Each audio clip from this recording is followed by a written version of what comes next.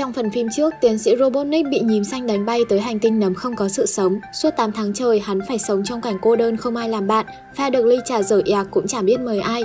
May mắn là tiến sĩ điên vẫn giữ được một sợi lông của Sonic. Hắn tận dụng nguồn năng lượng từ sợi lông để kích hoạt thiết bị phát tín hiệu dụ bộ tập Akina tới. Năng lượng quá mạnh khiến tiến sĩ bị đánh bật ra xa. Khi tỉnh lại thì quân của Akina đã tới. Bọn nó không hề hay biết đã rơi vào bẫy của tiến sĩ điên. Thằng bị kéo tít ra xa, thằng bị cây nấm đánh bay, thằng thì bị ăn cả cục đá vào mặt. Robotnik định chui qua nhãn dịch chuyển nhưng bị Knuckle ngăn lại. Knuckle là truyền nhân cuối cùng của bộ tộc Akena, một siêu chiến binh nguy hiểm nhất thiên hạ. Hắn bị ám ảnh bởi việc tìm kiếm viên ngọc lục bảo và hắn nghĩ rằng Sonic là chìa khóa để tìm ra viên ngọc. Kẻ thù của kẻ thù chính là bạn. Tiến sĩ điên bắt tay hợp tác với Knuckle. Trong khi đó, Sonic vẫn ở cùng Tom và bạn gái của anh ta. Cô cậu có ước mơ trở thành siêu anh hùng nhưng chưa có dịp thể hiện. Vừa hay có một đám cướp ngân hàng chạy qua, Sonic xông lên đánh bay hai tên để giành quyền lái xe, mải tán dóc với thằng ngồi sau mà không để ý đống lựu đạn đã được kích hoạt. Hết cách, Sonic buộc phải ném chúng vào xe rác ven đường. Chiếc xe lao như điên trong khi Sonic lại không thể điều khiển được nó. Một ý tưởng táo bạo được nghĩ ra. Sonic cầm một cái máy vặn ốc tháo tung chiếc xe trong sự ngỡ ngàng của tên cướp và thằng nhóc ăn kem ven đường. Có lẽ việc thức trắng đêm làm siêu anh hùng đã khiến Sonic bị thiếu ngủ, đang ngồi câu cá với Tom còn ngủ gật được cơ mà. Hôm đó, Tom cùng Eddie tới Hawaii để dự đám cưới của chị gái. Sonic cùng con cờ hó giả làm nhân viên sân bay tiễn họ lên đường. Ngay khi họ bước qua nhẫn dịch chuyển ngôi nhà, ngay lập tức trở thành khu vui chơi của Sonic. Đang quẩy tưng bừng thì Tom gọi về, Sonic nhanh như chớp đã dọn dẹp sạch sẽ rồi nghe điện thoại của Tom. Ở gần đó, Theo đã xuất hiện, cầm trên tay thiết bị định vị cùng cái đuôi quay tròn như cánh quạt trực thăng. Theo dễ dàng tìm tới chỗ Sonic đang ở. Trong nhà, Sonic đang chém gió với con cờ hó vụ hai em gái người Nga bị mất điện thoại mà không hề biết ai đó đã tới bằng nhẫn dịch chuyển. Tiến sĩ Robotnik phá cửa xông vào, Sonic xông lên để tẩn cho hắn một trận thì bị Knocker đánh thẳng vào Avatar. Sonic tiếp tục bị Knocker đánh bay ra thảm cỏ bên ngoài. Mặc dù đã cuộn tròn thành quả bóng nhưng Sonic vẫn bị Knocker đánh bại. Trong tình thế ngàn cân treo sợi bốn, Tail lái xe cảnh sát đâm thẳng vào Knuckles và cứu Sonic đi. Khả năng lái xe của Tail không tốt nên Sonic bảo đổi chỗ để cậu ta lái. Knuckle vẫn đuổi theo phía sau, hắn nhảy lên nhẹ nhàng xé tan cửa xe. trơn nhớ chiếc đuôi của mình có thể bay, trêu cơ vô lăng điều khiển xe lao xuống vực. Knuckle cay con nhà bà cú nhưng cũng chỉ biết bám vào vách núi để giữ lại cái mạng quen. Sonic la hét như con lợn sắp bị chọc tiết, mở mắt ra mới thấy mình vẫn còn sống và được theo cứu. Robotnik thấy vậy, bất lực bèn gọi thằng đệ Stone hiện đang làm trong quán cà phê kiếm sống qua ngày. Kế hoạch của nó là đánh các viên ngọc lục bảo để thống trị thế giới. Hắn cùng Knuckle quay lại phòng thí nghiệm để kích hoạt lại hệ thống máy bay không người lái. Knuckle thấy thằng này có vũ khí mạnh như mở cờ trong bụng, bắt tay nhau một cái nhưng lại làm tiến sĩ đau điếng cả người. Sonic và Tail cũng không nằm há miệng chờ sung. Sonic lấy ra tấm bản đồ có sự chỉ dẫn của dì cú mèo lăng Claw về vị trí của viên ngọc lục bảo. Sonic cùng Tail di chuyển tới Siberia lạnh giá để tìm manh mối. Cả hai cải trang rồi vào một quán rượu nhưng bị những người ở đây phát hiện. Khi chuẩn bị vào lò sưởi để làm món thịt nướng thì theo hét lớn Pifonka khiến tất cả dừng lại. Cho anh em nào không biết Pifonka là gì, Pifonka là phong tục của Siberia để giải quyết tranh chấp. Nếu Sonic và Tail thắng sẽ được thả, còn nếu thua sẽ bị ném vào lò sưởi.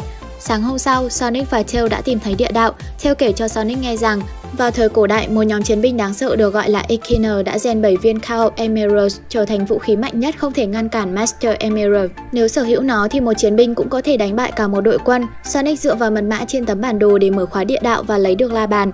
Đúng lúc đó, tiến sĩ Robotnik xuất hiện cùng Knuckle. Hắn bắn một quả tên lửa nhưng Sonic bắt được và ném trở lại. Cả hai nhanh chóng chạy trốn nhưng Sonic vẫn không quên lấy mấy quả bóng tuyết để hạ máy bay không người lái của Robotnik. Knuckle đuổi theo sát đít, Sonic không may trượt chân làm rơi nhẫn dịch chuyển. Knuckle tâm sự với Sonic rằng cả hai đều mất người thân vào cùng một ngày. Không đợi nó nói nhiều, Tail xông tới trói Knuckle. Sonic ném la bàn mới lấy được cho Tail nhưng Robotnik bắt được và bắn tên lửa hạ gục Tail. Chấn động từ vụ nổ đã gây ra một trận lở tuyết lớn. Tom đang dự đám cưới thì Sonic gọi nhớ ném nhẫn dịch chuyển để thoát thân. Oái con bà oăm, chiếc nhẫn mà Tom ném ra đã được trao đổi với cô dâu và chú rể. Hết cách, Tom buộc phải đấm chú rể một cái để cướp nhẫn. Sonic và Tail được cứu nhưng tránh vỏ dưa lại gặp vỏ dừa. Đám cưới này quy tụ rất nhiều chú Grab đi tất xanh và dĩ nhiên rồi, Sonic và Tail bị nhốt vào lồng mang đi cùng với Tom.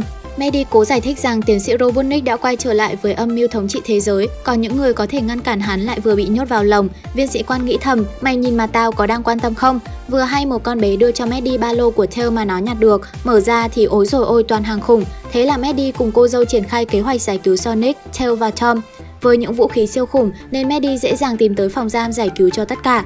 Trong khi đó, tiến sĩ Robotnik và Knocker đã di chuyển ra bãi biển. Robotnik dùng la bàn cướp được để kích hoạt cánh cửa mở ra địa đạo nơi cất giữ viên ngọc lục bảo. Sonic đứng từ xa thấy mọi chuyện nên phi một mạch tới để ngăn cản tiến sĩ điên. Oái con bảo oam là Sonic đã sợ nước còn gặp sóng lớn, nhím xanh bị sóng đánh giạt vào bờ. Robotnik tiến vào địa đạo và gặp vô vàn cạm bẫy, may sao có Knuckles đi theo bảo kê nên mới có cơ hội sống sót. Sonic cũng tìm được lối vào địa đạo, những cạm bẫy ở đây không là gì so với tốc độ chạy của nhím xanh. Lúc này, Robotnik đã thay lòng đổi ruột, nó định thủ tiêu Knuckles hòng chiếm đoạt viên ngọc lục bảo làm của riêng. Vừa hay Sonic tới nên hắn không kịp ra tay mà đứng làm khán giả xem Knuckles vào vỡ màn hình chính của Sonic. Cơ mà nhím xanh cũng không chịu thua, cu cậu cũng xông lên vào vỡ màn hình chính của Knuckles. Trong khi hai thanh niên đánh nhau sứt đầu mẻ máu thì thằng Robotnik thừa cơ lấy đi viên ngọc lục bảo. Hắn hấp thụ năng lượng tối thượng từ viên ngọc khiến cơ quan phát nổ và chìm trong nước biển. Knuckles bị tảng đá lớn đè lên, Sonic cố lặn xuống để cứu thằng bạn khốn khổ lên bờ. Ngay khi vừa cứu được thằng bạn thì bản thân lại đuối nước, thế là Knuckles lại phải quay lại cứu kẻ thù của mình. Lên bờ ngồi trách mong nhau một lúc, cả hai quyết định làm hòa vì kẻ thù chung bây giờ là tiến sĩ Robotnik. Sau khi hấp thụ sức mạnh từ viên ngọc lục bảo, Robotnik có thể dịch chuyển về lại phòng thí nghiệm nơi thằng đệ đang bị công an bắt trói. Đúng như lời Thiêu nói với Sonic, người sở hữu viên ngọc lục bảo có thể đánh bại cả một đội quân. Sức mạnh của Robotnik bây giờ quá ghê con bà gớm. Hắn tạo ra một cơn lốc đen xì hút tất cả mọi vật bằng kim loại, kể cả tàu hỏa hay xe tăng. Hắn làm vậy để tạo ra một con robot siêu to khổng lồ với cái mũi nhọn chả ăn khớp với mặt tí nào. Theo lời phi cơ đưa Sonic và Knuckles tới nhưng không đánh nhau ngay mà chọc tức tiến sĩ điên cái đã.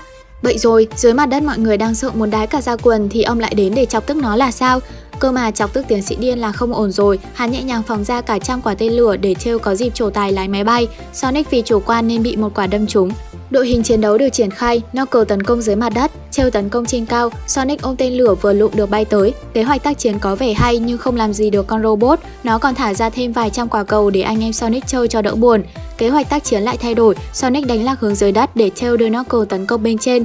Tốc độ chạy của Sonic hiện tại không đủ để so với sức mạnh của Robotnik, con robot của hắn xì hơn một cái cũng khiến nhím xanh ngã sắp mặt rồi. Cái điệu hổ Lizzo này đã thành công tốt đẹp, treo mở lối vào bên trong khiến Robotnik phân tâm. Knuckles xông lên dùng sức mạnh của mình đánh bay viên ngọc ra khỏi tiến sĩ điên. Sonic dù bị thương nhưng vẫn cố gắng tiến tới chỗ viên ngọc trong sự truy đuổi của con robot. Tom và vợ tới kéo Sonic lên xe nhưng vẫn bị chặn bởi robot của tiến sĩ điên. Viên ngọc lục bảo trong tay Sonic vỡ ra thành 7 viên ngọc nhỏ. Robotnik không buông tha mà dùng bàn chân khổng lồ của robot dẫm lên cả ba đang nằm dưới đất. Sonic nắm tay vợ chồng Tom để đọc di chúc, bỗng 7 viên ngọc bay lên nhập vào Sonic. Thời thế thay đổi rồi, sức mạnh bất khả chiến bại giờ đã nằm trong tay Sonic. Xung quanh cậu phát ra một luồng ánh sáng kỳ diệu, cú đâm sấm sét của con robot đã không thể ngăn cản được nhím xanh. Sonic sử dụng siêu tốc độ để phá hủy đầu của con robot, sau đó là liên hoàn cước khiến nó ngã xuống, tiến sĩ Robotnik cũng ngã theo. Knuckles ngăn vợ chồng Tom và bảo Sonic bây giờ không còn là Sonic mà họ biết nữa.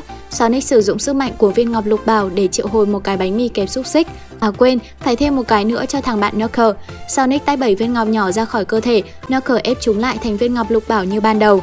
Ngày trước, Knuckles đi theo Robotnik để tìm kiếm viên ngọc lục bảo, bây giờ có nói rồi nhưng Knuckles không lấy làm của riêng. Anh chàng to con này quyết định cùng Sonic và Tails thành lập bộ ba bảo vệ viên ngọc vào vũ trụ.